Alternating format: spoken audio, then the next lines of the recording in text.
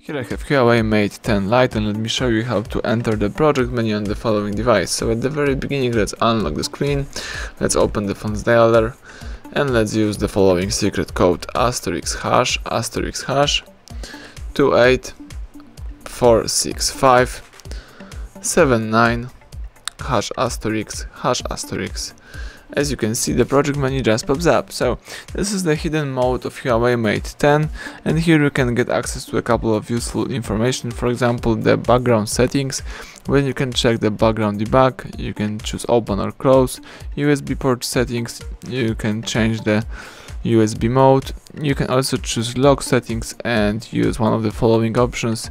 Choose set UI theme color, in my case me tap cancel. Let's go back. You may also have access to vendor information. and Here you can check the version info.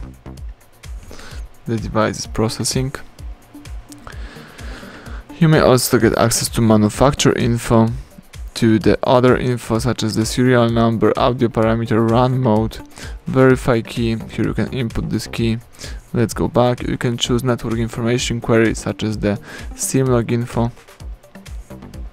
In my case, SIMLock is deactive fuse info, vendor country info. You may also go back and choose the software upgrade right here. And you can upgrade software by using the SD card.